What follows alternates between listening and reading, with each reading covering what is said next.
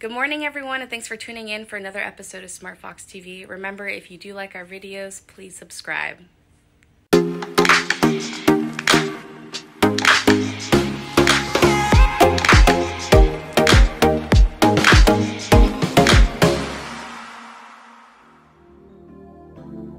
March 21st is National Fragrance Day, so I thought it was appropriate to give a little history on fragrances and perfumes. Fragrances have played an important role throughout history. Royalty flaunted it, businesses, empires were changed by it, and fragrances can take you back to a memory as it had powers of a time machine. Cleopatra was said to have greeted Mark Antony on a boat with perfume sails and became the Queen of Egypt. Perfume is associated with mystery, fantasy, and imagination, but perfume has not always carried a hint of romance. The first forms of perfume were during the Mesopotamians. A tablet found reveals that a female chemist named Taputi was the first recorded perfume maker. The most precious of all ingredients was the cedar of Lebanon. The ancient Greeks take credit for the first liquid perfume. It was used for worshiping and pleasing gods and goddesses and played a crucial role in the development of perfumery. The Romans may not have invented perfume, but they gave its name perfume through smoke. The public baths were a big thing in ancient Rome, and an emperor once had a silver pipe installed so his dinner guests could be sprayed with rose water. But across Arab land, where perfume played a central role in ceremonies, they were able to be clever and capture the fragrance. As the Prophet Muhammad puts it in the 7th and 8th century, it's been given to me to love three things women, perfumes, and prayer.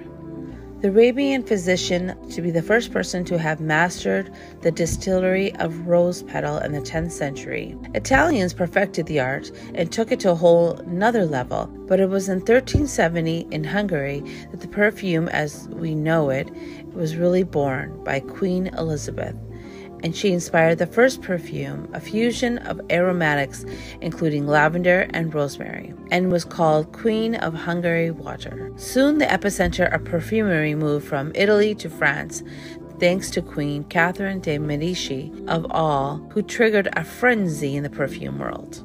The king demanded a different fragrance every single day. Louis XIV was terrified of bathing. He is said to have taken three baths in his whole life. It was thought that the water spread diseases, so the less you bathed, the less vulnerable you were. And Louis took the trend of perfumery to new heights. By commissioning his perfumer to create a new scent each day, the perfumers were achieving even greater status, and the power and competition to supply the perfume court was beginning to be ferocious. Montpellier and Grasse went head to head and bottle to bottle outdo each other. These regions experimented the growing of fragrance and newly introduced fragrant plants. To this day, Grasse is the heartland of perfumery in France. During the Victorian era, Queen Victoria did not like over lavish use of fragrances. She chose delicate flowers such as lavender and jasmine and violet to be popular. In the 1920s, fragrance was revolutionized as Chanel No. 5, still the world's most iconic fragrance, as the Chanel No. 5 launched. It is said that there were samples 1 through 10 and samples 20 through 24, and Miss Coco was supposed to choose the one she liked the best and she chose number five, and the rest is history. Quite a few classic fragrances that are worn these days were made in the 1920s and 30s. In the 1950s, fragrances were something women wore on holidays, birthdays, until Estee Lauder made Youth Dew. This was an oil that could be used during a bath and it would help boost the woman's day. So, perfume became something that women could indulge in every day since that time, fragrances have continued to grow and inspire. Here are some of the most popular brands. Chanel No. 5 remains the world's most famous perfume, a powdery floral launched by Gabrielle Coco Chanel, celebrity endorsed by Marilyn Monroe. J'adore by Dior is the fashion house number one selling fragrance featuring Charlize Theron. Shalimar, worn by Rita Hayworth and Brigitte Bardot. It has a spicy, warm fragrance with bergamot. Whatever fragrance you wear, I hope it brings you memories for the future. And I hope you enjoyed this journey through the history of perfume. Have a wonderful day.